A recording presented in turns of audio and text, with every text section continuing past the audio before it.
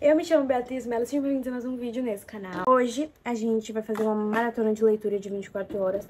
No caso, para descobrir quantos livros eu consigo ler em 24 horas. E para fazer isso, a gente vai estar usando o meu novo iPad que eu ganhei. É... Porque a gente vai contar o tempo nele, né? Porque eu gravo com o celular, então... Pra eu mostrar o tempo pra vocês, enfim, fica melhor por aqui. É, eu tenho esse aplicativo aqui que, tipo, ele vai coisando isso aqui, entendeu? Só que eu não sei se ele tem cronômetro, entendeu? A gente vai iniciar aqui o cronômetro e aí eu vou ir pausando e aí a gente vai lendo os livros até dar 24 horas.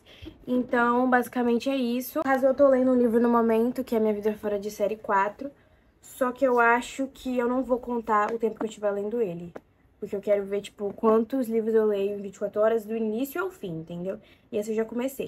Então, livros físicos, eu separei dois aqui.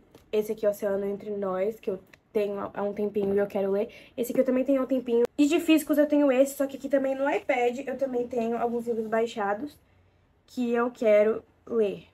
Então, e aí eu vou escolher, tipo, qual eu quero é, durante esse meio tempo. Eu não sei se eu começo pelos online ou pelos físicos ou eu intercalo. Eu acho que eu vou intercalar. Vou começar a ler um físico. E aí depois eu leio um aqui. É, vocês puderam perceber que a minha meta é ler quatro livros. Vou começar com o físico. Começar aqui o tempo assim que eu começar a ler. Oi, gente. Voltei. É, ó, já comecei o livro. Eu li, tipo, por 38 minutos, tá aqui no cronômetro, tipo, antes de ir igreja, que eu li só esse meio tempo mesmo. Na verdade, eu, tipo assim, eu comecei a ler, fiz a entrada e tal, e aí eu dormi a tarde inteira, aí eu acordei só quando eu fui pra igreja. Então, contou só esse tempozinho que eu li pouco, entendeu? Então, por isso que ficou só esses, hum, arredondando 40 minutos. Eu só li esse daqui. Agora eu tô na página 50, que, que eu estou achando até agora, né? Fala sobre uma menina muçulmana. É uma garota muçulmana, tá certo. O livro é sobre uma menina muçulmana e aí introduz com ela entrando em uma nova escola, porque os pais dela, tipo, estão sempre tentando melhorar a vida dela e do irmão, então eles estão sempre mudando de escola, de casa, de cidade, tipo, evoluindo, sabe? Pra um lugar melhor sempre. E ela muda muito de escola, então, tipo, o livro começa com esse com essa explicação e tal, e aí mostra um pouquinho dela na escola, ela conheceu um menino chamado Ocean, que eu suspeito que seja o par romântico dela, porque, tipo, até agora foi o único personagem que se manteve dentre todos que ela afasta. É... Tem o irmão dela também, os pais. Oi! Enfim, Aí, basicamente, é isso. É, eu tô achando que esse Ocean é o que vai ser par romântico dela, só que eu não sei muito. E o livro também tem coisas de mensagem. Eu gosto quando o livro tem, tipo, ele mostra... Não é 100%, tipo, meu Deus, muitos desenhos de...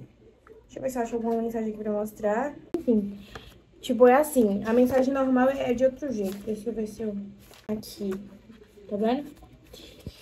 E outra coisa, as entradas de capítulos eu achei bem diferente, que as entradas de capítulos tipo, são a página inteira, só com o número do capítulo.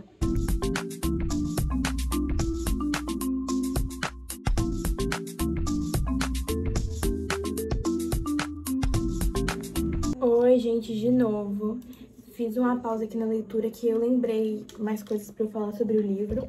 Que eu tinha esquecido de que ela gosta de breakdance. Ela e o irmão, tipo, eles treinam, ensaiam, enfim. E aí ela vai participar de uma competição. Eu não sei se vai participar ou assistir, não entendi nessa parte. Mas enfim. E sobre o Ocean, a personalidade dele eu achei bem engraçada. Tipo, até agora, como o livro é narrado pela visão da... É que eu não vou me arriscar a falar o nome dela porque eu não sei pronunciar. Mas Ó. Ah, não, é uma coisa aqui, enfim. Ele é bem, tipo, aleatório, tipo, ele fala umas coisas bem aleatórias. E ele é meio, também, tipo assim... Não sei como eu posso explicar. Ele fala meio que umas coisinhas sem pensar e ele, tipo, depois ele tenta se explicar. É bem engraçado, na real. Enfim, eu, eu me rendeu umas risadas, esse querido. As opiniões sobre, sobre agora, até agora são essas. Gente, já deu aqui uma hora na contagem, tá vendo? Nessas uma hora eu li até a página 79. Oi, galerinha do vlog. Tenho muita coisa a dizer, que eu acabei de terminar o livro, tá? Eu vou mostrar tudo certinho pra vocês. E eu preciso falar sobre esse livro, entendeu? Preciso. Tá, uma mini introdução. Nossa, já saiu todo o meu máscara. Deixa eu botar pelo menos um óculos. Bom, basicamente... Basicamente, Oceano Entre Nós vai é, apresentar pra gente a história da Shirin. Eu não sei falar o nome dela, vou... tá errando muito. Mas enfim, e do Ocean. É, a Shirin é uma, uma menina muçulmana de 16 anos e ela se muda muito por causa dos pais dela, que estão sempre trocando de trabalho botando ela e o irmão em uma escola melhor, em um bairro melhor, uma casa melhor. Então ela já tá meio que cansada, tipo, dessa vida de estar tá se mudando sempre e do ensino médio, propriamente dito, das pessoas sempre, tipo, apontarem o dedo pra ela e não procurarem conhecer ela propriamente dita. E, tipo, só acharem que sabem quem ela é. O livro começa com essa narrativa, né, dela, o livro é narrado pela visão dela, e a gente também conhece o Ocean, ele também tem um probleminha familiar com a mãe, e também, tipo, com todo mundo ao redor dele, porque ele tá sempre, tipo, tentando fazer o que as pessoas querem dele, mas ele nunca tá fazendo o que ele realmente quer, sabe? Então, e aí eles dois vão se aproximando durante o livro e é a coisa mais linda do mundo. O Ocean é um fofo. Você tá lendo o livro e, e eu entendo o ponto de vista dela, dela se achar, tipo assim, errada pra ele e tá todo mundo apontando o dedo dizendo que ela é errada pra ele. Mas eu, quando, juro, quando tem aquela, o conflito lá, eu só queria pegar o Ocean e guardar ele num potinho, entendeu? Eu juro, foi muitos, muitos surtos. E basicamente é isso, eu dei 4.5 estrelas. Eu daria 5 porque, tipo, tava muito incrível, só que no final não teve aquele final de, de clichê, sabe? Que eles se beijam e ficam felizes assim. E eu quero esses felizes pra sempre. Não teve, não fechei 5 estrelas, entendeu? Por isso que eu dei 4.5, mas é uma leitura muito boa, porque além do romance, ele também foca nesse preconceito no geral. Gostei muito, então eu dei 4.5. E eu li ele em 5 horas e 27 minutos. E é isso. E eu li ele em 5 horas e 27 minutos. Então é isso. A gente vai começar o próximo agora. O próximo eu vou começar online. Oi, gente. Tudo bom? Bom dia. Agora já é de manhã do dia seguinte. E a gente vai começar outro livro. É... O livro da vez. Como eu falei, eu vou intercalar. Então, o último livro que eu li foi físico. O que eu vou ler agora vai ser online no iPad. E o livro que eu vou ler vai ser Sim, Não, Quem Sabe. Eu vi muita gente, tipo, muitas indicações no BookTok. Então, é isso. Vou começar. Oi, gente. Enfim, o que, que tá rolando? Atualizações. É, eu acho que eu tô em 15% do livro, deixa eu ver aqui.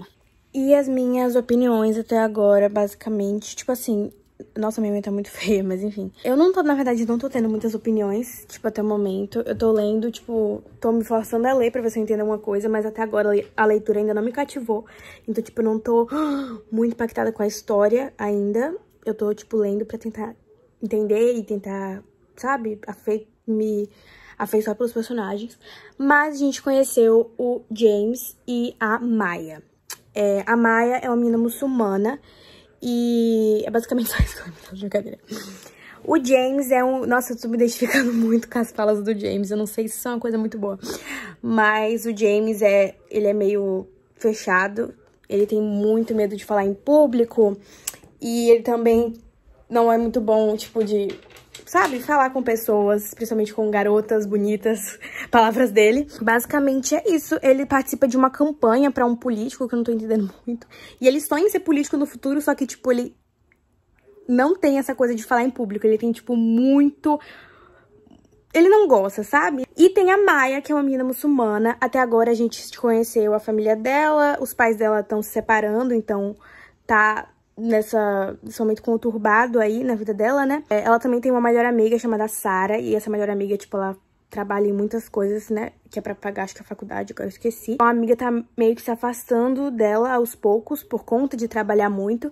Então, ela tá meio que, tipo, perdendo um pouco do pai, que tá indo embora de casa, e ao mesmo tempo perdendo um pouco da amiga. Então, é esse, esse baque também, né? E vou mostrar pra vocês agora as marcas, as minhas marcações até agora no livro. Então, ó, já tô em 56 de 351.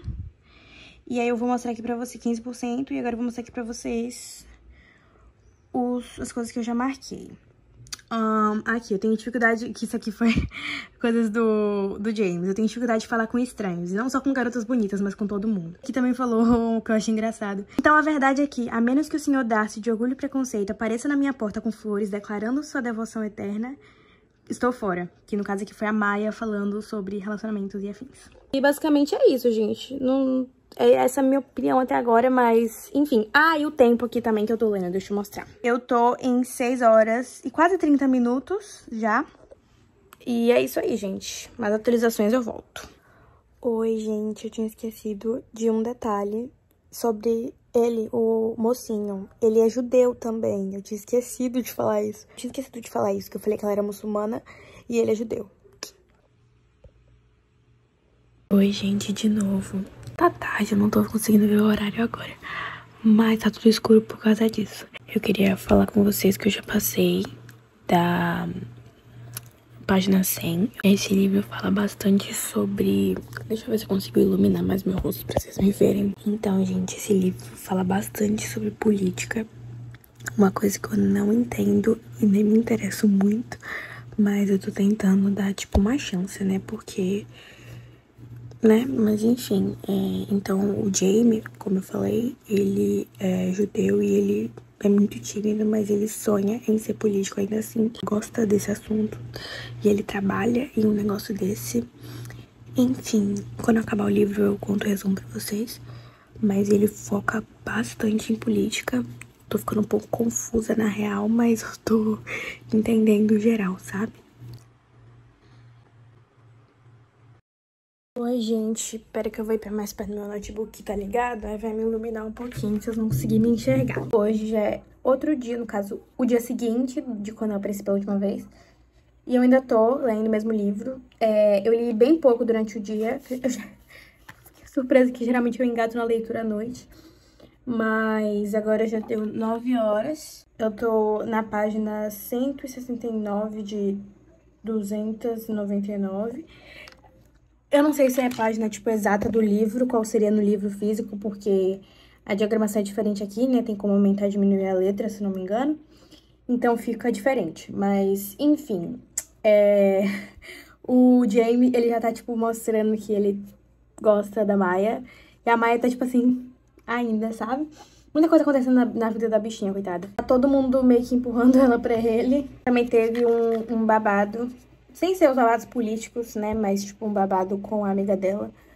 Enfim, basicamente é isso até agora. Eu vou tentar ler o máximo, tipo, que eu quero terminar logo. Parece que essas 24 horas não passam. Todo vídeo que tem, tipo, algum casal, alguma coisa assim, sempre tem alguém que comenta. Encontre alguém que olha pra você como tal pessoa olha pra tal. Morri, gente. E os emojis ficam assim aqui. Anyways. Gente, acabei o livro. Acabei ontem de madrugada, acabei não conseguindo filmar nada pra vocês, mas enfim. Vou mostrar os meus destaques que eu fiz, né? Marquei bastante coisa, lembrando que coisas verdes são frases que eu gostei.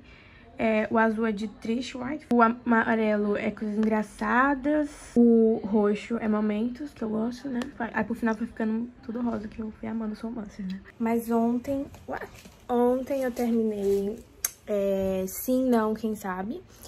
Gostei muito, dei quatro estrelas. Ah, esqueci, eu não lembro se eu falei a nota que eu dei pra Oceano Entre Nós, mas eu dei quatro estrelas e meia. E pra Sim Não, talvez... Sim Não, Quem Sabe, eu dei quatro estrelas. Gostei muito, é um romance muito fofinho. Envolve política, então, tipo, também tem essa parte além do romance.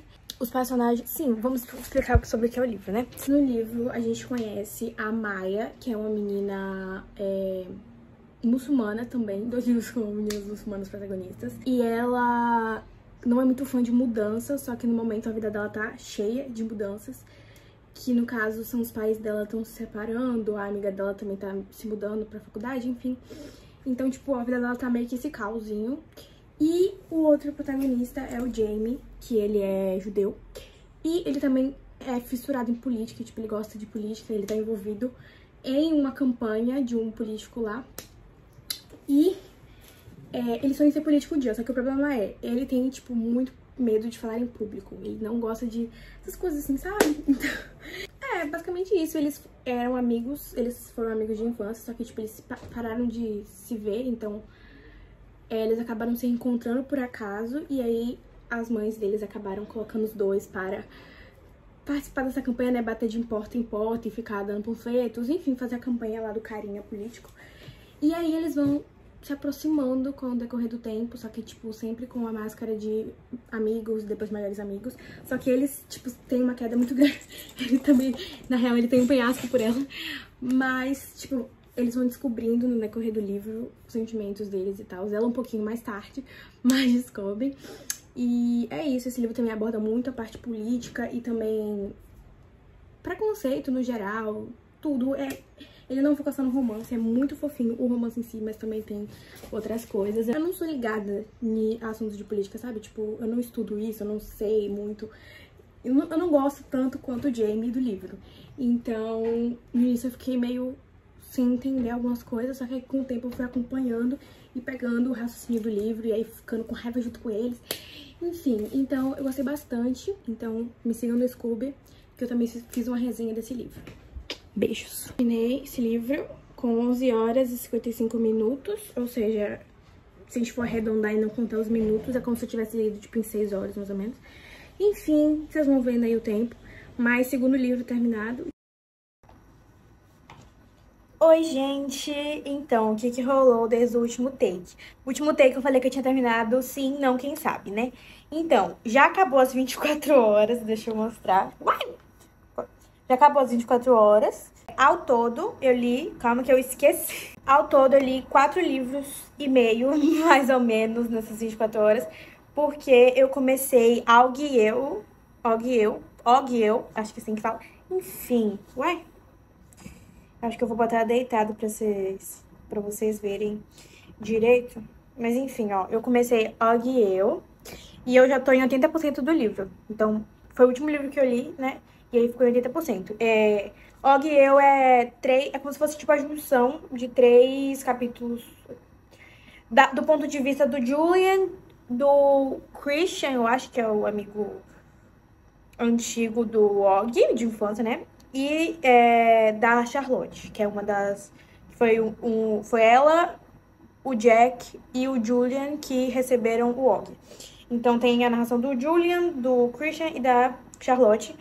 É, é como se fosse, tipo assim, um meado do que acontece ao mesmo tempo, entendeu? Tipo, enfim, são as. Acontece, não é uma continuação. São histórias que ocorrem no mesmo período de Extraordinário. Só que Extraordinário é focado, tipo, o Extraordinário gira em torno do Og, né? Do do August. Então, aqui é como se fosse, tipo, a visão das outras pessoas, né? No, no livro tem a visão das outras pessoas, só que são de pessoas muito mais próximas, entendeu? Então, isso aqui é um pouco mais... Enfim, mas é, ele é mencionado. Então, enfim, esse Algo e Eu é uma junção de, desses três... São, foram três e-books antes, eu acho. Oi, gente! Então, é, o último take, última parte que vocês viram, eu tava viajando, eu tava em Fortaleza, vai sair vlog tá? Então, aguardem, se inscrevam, ativem as notificações, que vai sair o vlog. Só que aí, tipo, acabou que nessa hora eu não terminei. Eu, tava, eu falei até um pouco mais, só que eu deixei pra eu, eu cortei e deixei pra eu falar agora nessa continuação. Então, é, eu vou fazer como se fosse uma recapitulação de todos os livros que eu li, porque eu falei que eu li quatro livros e meio, só que, tipo, no caso... Ou, oh, no caso, seria três livros e meio, porque eu li três inteiros e esse e esse quarto como se fosse, tipo, metade mais ou menos, né? Tipo, mais que a metade. Então, os livros que eu li, como vocês viram, sendo entre nós, eu li físico. Sim, não, quem sabe, eu li em e-book. É, aí, o terceiro livro que eu li, que foi o que eu não gravei nada, na verdade, os outros, né, dois eu não gravei nada, foi Árvore dos Desejos. Conta pra gente a história da Red, da Red, que é esse carvalho belíssimo que está aqui na capa do livro.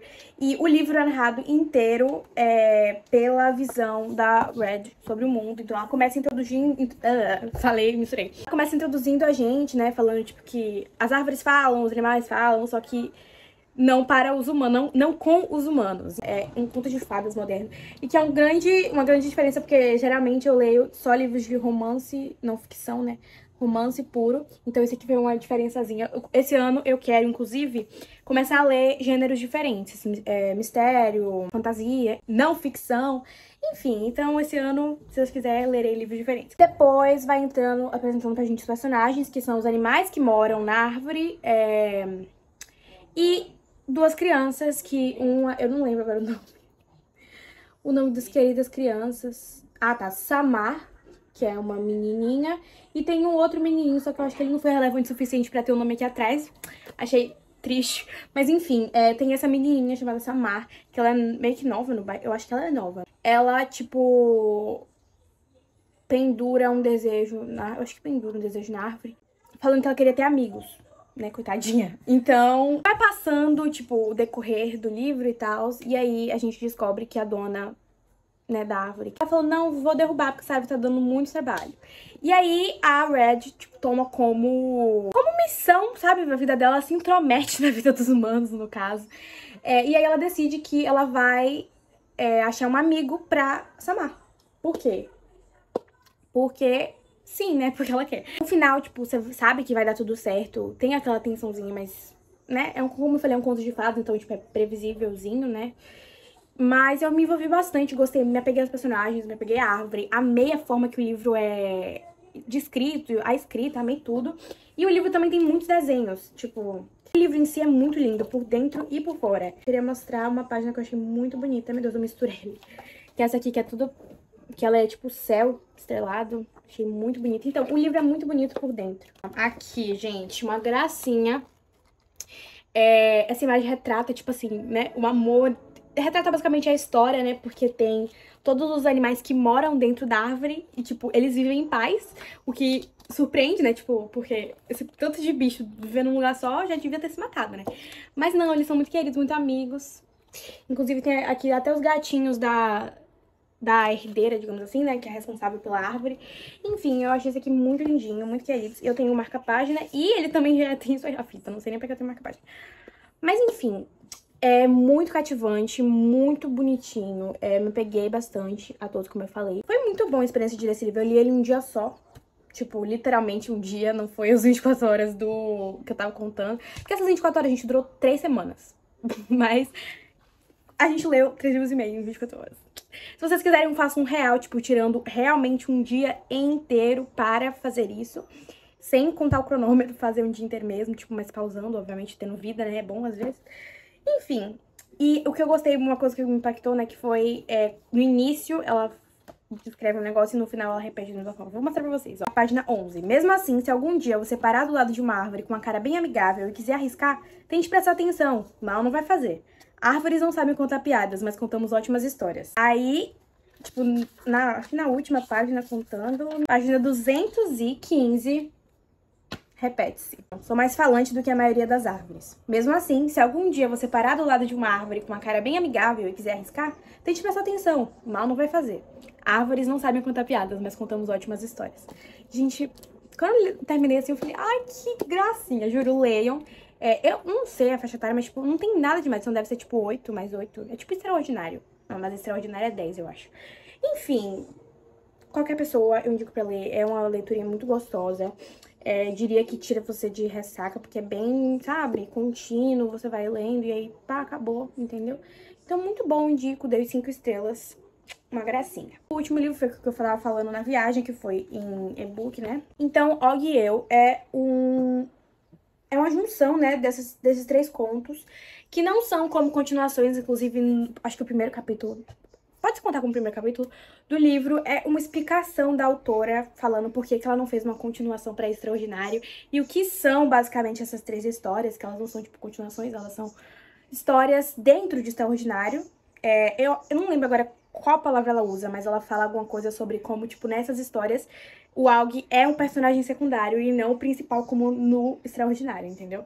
Então, basicamente, Og e eu é, Hoje eu já terminei, só que eu terminei o terceiro conto depois das 24 horas, então eu não vou me prolongar muito. Na verdade vou, porque é sobre, né? Eu já tinha. Eu tava na metade quando eu terminei as 24 horas. Então, basicamente, Ok são três contos. O primeiro é o capítulo de Julian, o nome, e conta a visão do Julian quando tudo tava acontecendo. Gente, faz, eu li ano passado, acho que em outubro, novembro, eu não lembro exatamente, mas eu favoritei. Extraordinária é muito incrível, eu já amava o filme com todas as minhas forças, não tinha como não amar aquele livro. O capítulo de Julian é narrado pela visão do Julian. O capítulo de Julian, que é o primeiro conto do livro, conta a visão do Julian sobre tudo, só que é... é o Julian, ele é, tipo, muito... Sabe, não tem como você gostar dele. Só que, é, e eu gosto muito do fato da autora não romantizar o que o Julian fez, entendeu? Tipo, ele, mesmo sendo uma criança, sabe, que, tipo, erra, aprende, acerta, depois erra, ela não romantiza o fato dele ter sido horrível, né? Tipo, parece a história do Alga, do, do Og, perdão. E então, o livro, tipo, conta basicamente como foi, né, esse rolê todo. Fiquei com muito ódio aos momentos da mãe dele, dele também. Mas você entende, entendeu? Até tem um momento da avó contando uma história pra ele que eu fiquei muito... Ah, que gracinha. Mas... Sabe? Não faz você... Faz você entender, mas ainda assim você...